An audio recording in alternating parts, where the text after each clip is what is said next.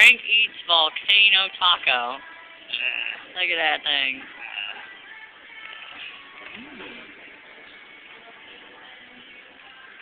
How is it, Frank? Wow, it's hot.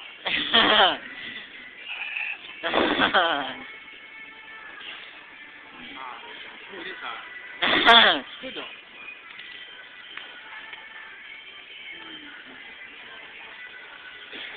Mhm. Is it like you want a drink of water right now or something? Mm. Glad we got our own sodas. yeah, no kidding. Mm. You can have some of my soda, Frank. Not good. Not good. I don't drink that much soda lately. Come on, eat. Nah, I like this. I wonder if you finish that thing. It must be really good in it, Frank. A weird color to it. Give it spiciness. Eating that thing up. It must be really good. Is it really hot?